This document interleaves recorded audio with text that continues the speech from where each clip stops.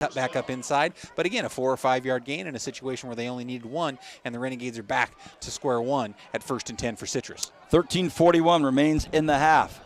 Citrus has the ball inside Renegade territory at the 48 yard line. Cupper stands, snaps, takes it, looks to the left side. It's stopped and it's picked off. Look at this. Look at this. Could be a pick six, and it's going to be Patrick Marzette at the 10, at the 5. Touchdown Renegades. Boom. Boom, boom, boom. Marzette no flags. Thrown out to the left side. Marzette gets it, takes it home. That's that mojo we were hoping for, baby.